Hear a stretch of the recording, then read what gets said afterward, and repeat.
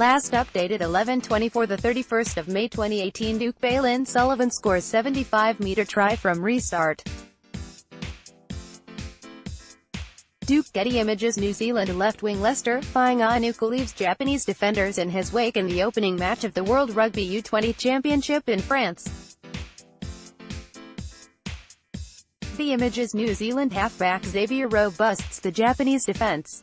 David Rogers, Getty Images New Zealand wing Leicester Fainga'anuku dots down in the corner under pressure from Japan. Rugby the Baby Blacks have humiliated Japan with a 67-0 win, making a strong start to their title defense at the World Rugby U20 Championship in France. New Zealand scored 11 tries in Narbonne on Thursday, NZT, as their power and pace proved too much for a Japanese team who were returning to the top tier of the championship after winning the second division last year. New Zealand's support play was outstanding as their runners constantly made inroads on the fragile Japan defence. The outside backs had a field day with big centre Bailyn Sullivan a huge meter eater. He scored the solo try of the day, taking a kick-off in the 21st minute and running most of the field for an outstanding try. Wings Leicester, Fainga'anuku and Jamie Spowett benefited, with five tries between them. More, asterisk Nonu not on the Canes radar yet. Asterisk Mager back for Hurricanes. Clash. Asterisk Crusaders building a new dynasty. Asterisk Nonu leaves Toulon, most future, we will be very happy with that, New Zealand captain Tom Christie said after the win. We will review it but on the whole I'm really happy, Christie felt Japan had given his side a challenge at the breakdown. That would be good moving forward, but he was still thrilled with the drive and skills of his own players.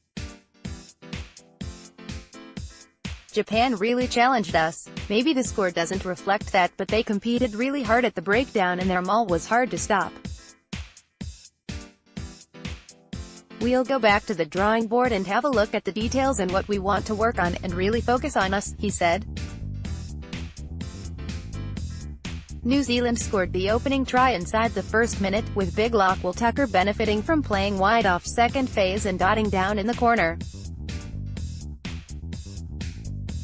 Set the tone with the Kiwis romping to a 38-0 halftime lead with another five tries. Importantly, New Zealand held their shape and structure as the game loosened up.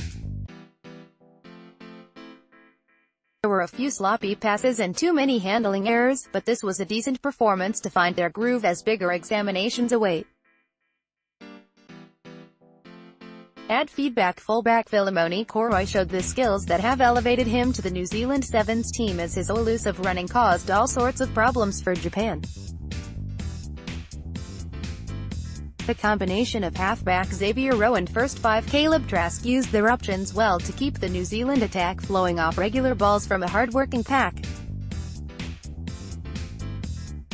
New Zealand play Wales in their next Pool A match on Monday morning, NZT, and then Australia the following Friday. Wales caused an upset on the opening day when they beat Australia 26-21. In other results, Italy squeaked past Scotland 27-26, South Africa battled past Georgia 33-27, England beat Argentina 39-18, and France held off Ireland 26-24. The Baby Blacks, who have won the world title six times, are a factory for New Zealand talent with 12 of last year's champion team involved in Super Rugby this season. New Zealand 67, Will Tucker, Leicester, Fainga'anuku 2, Bailyn Sullivan, Philemoni Koroi, Xavier Roe, Tom Christie, John Akalalala, Jamie Spowett 3 tries, Caleb Trask 5 Con, Harry Plummer Con, Japan 0. HT 38 0, Stuff